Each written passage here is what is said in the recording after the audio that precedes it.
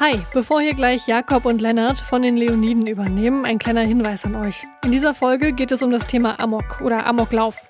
Falls das was ist, mit dem ihr euch unwohl fühlt, hört die Folge vielleicht lieber nicht alleine. Dann habt ihr jemanden, mit dem ihr direkt darüber sprechen könnt. Oder ihr überspringt sie ausnahmsweise. Es gibt ja jede Menge Popfilter-Folgen, die ihr euch stattdessen anhören könnt. So, jetzt geht's aber los mit dieser Folge. Hey, ihr lieben Leute, die ihr zuhört. Hier sind Jakob und Lennart von Leoniden und wir übernehmen diese Woche den Popfilter und stellen euch Songs vor, die ganz, ganz traurig sind, aber nicht traurig klingen. War eine äh, challenging Aufgabe. War ich. schwierig, aber ich, ich glaube, wir haben es ganz gut geschafft. Jo. Hier kommt ein Song unserer Auswahl.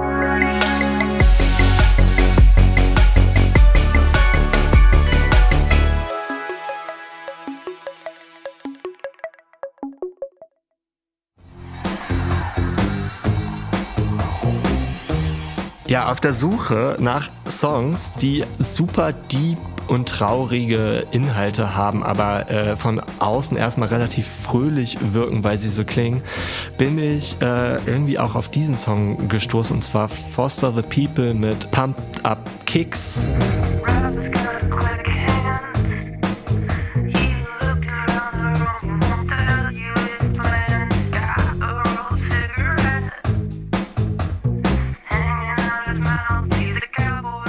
Dachte immer, und das muss Pumped ich kurz Kids. gestehen, ich dachte, ja, was heißt Pumped Up Kids? So, also, aber das habe ich äh, jetzt gelernt, das heißt Pump, äh, Pumped Up Kicks und ähm, der Song ist auch schon uralt, aber ist ja auch voll, also ich glaube, der ist 10, 12 Jahre alt. Der ist tatsächlich in Deutschland ähm, Gold gegangen. Das habe ich gelesen neulich, weil ich mich mit diesem Foster the People mal beschäftigt habe. Der bringt nämlich auch gerade eine Platte raus. Ich glaube sogar am Echt? gleichen Wochenende wie wir. Ja. Ach krass. Ähm, und dann habe ich irgendwie, also weil ich hatte das gar nicht mehr auf der Pfanne. Ich diesen, dieser Song ist älter, aber mit Abstand äh, wahrscheinlich der bekannteste von diesem Künstler.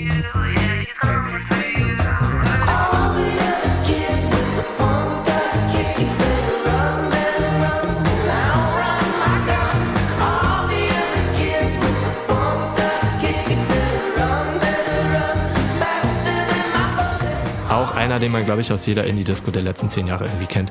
Und der geht tatsächlich darum, äh, also der geht um so Mental Illness äh, bei Schülern. Bei so, ne? Schülern, genau. Ja. Und da geht es ganz konkret darum, dass äh, eine Geschichte, die ist fiktiv, von einem Robert erzählt wird, dem es halt sehr schlecht geht, der psychische Probleme hat und der sich vornimmt oder zumindest vorstellt, jetzt halt so einen Amoklauf an seiner Schule durchzuführen, was ja traurigerweise in Amerika nochmal ein ganz anderes Thema ist, als äh, das jetzt bei uns ist, weil es da wesentlich regelmäßiger passiert, dass Leute äh, an Schulen halt irgendwie so Amokläufe begehen und Waffen quasi allgegenwärtig sind und für alle irgendwie jederzeit zugänglich.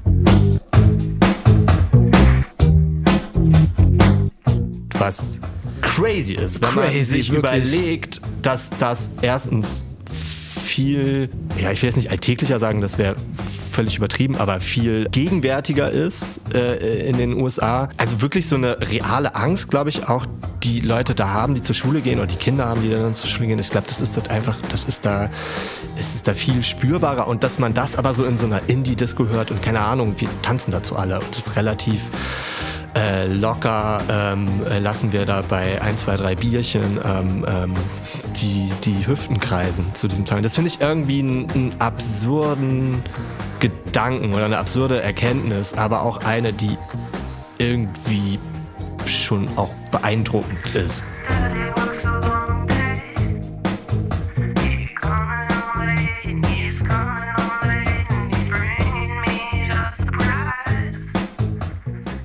Super Genius, ne? Voll genial. Stell dir den, ja. den Prompt einfach vor, schreibe einen Song über dieses Thema. Ja. Der würde zu 0% würde dieser Song dabei rauskommen. Und das ist so, ist ja auch ein Vehikel für eine Message. Volle Kanne, richtig genau. Und dadurch zimmert das auch viel mehr rein, als wenn das jetzt einfach so eine sehr äh, gediegene äh, Piano, äh, Zittrige Ball Piano Ballade, ist, ja. Ballade ist, wo, wo, wo einfach dann erzählt wird, was man ja eh, glaube ich, wo, wo Common Sense ist, was man davon halten kann ja. und wie man dazu stehen kann. All the other kids.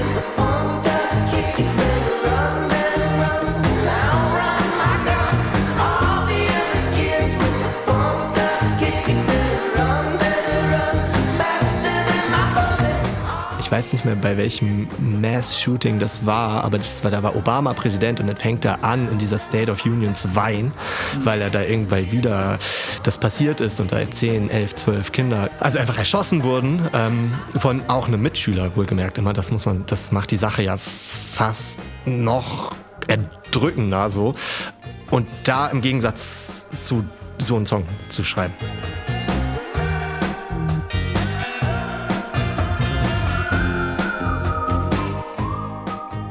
Für mich ist es vielleicht aber auch so, eine, so ein Paradebeispiel dafür, wie es sich vielleicht anfühlt für, für Leute, die nicht Native Speaker sind, so einen Song zu hören. Weil ich habe da vielleicht auch, als ich ihn das erste Mal gehört habe, nicht so hingehört. So. Wir sind Jakob und Lennart von den Leoniden. Wir sind hier im Popfilter. Und ihr hört von Foster the People den Song Pumped Up Kicks.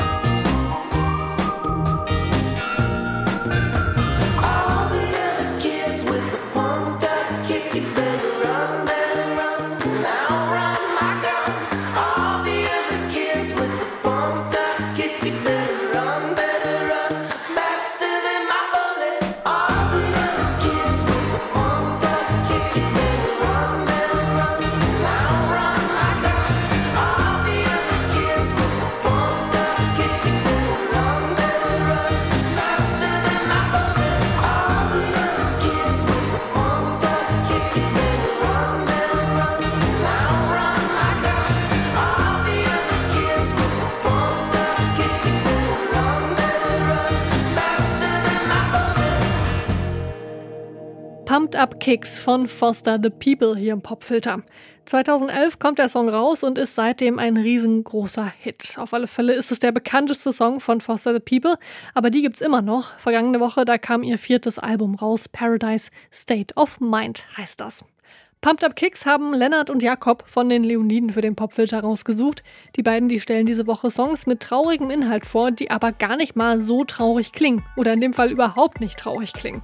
Pumped Up Kicks gehört da definitiv dazu, ihr habt's gehört. Ich habe auch ganz lange nicht gecheckt, worum es da eigentlich geht. Morgen geht's dann weiter mit der Leoniden Takeover Woche und zwar mit einem Song aus dem Album des Sommers. Wir haben ja auch schon ein paar Mal darüber gesprochen.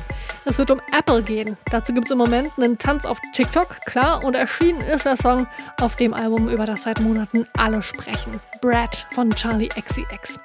Danke euch fürs Zuhören, abonniert den Popfilter gerne und erzählt, wenn ihr mögt, euren musikbegeisterten Freunden von uns. Mein Name ist Marianta. Bis morgen dann. Tschüss.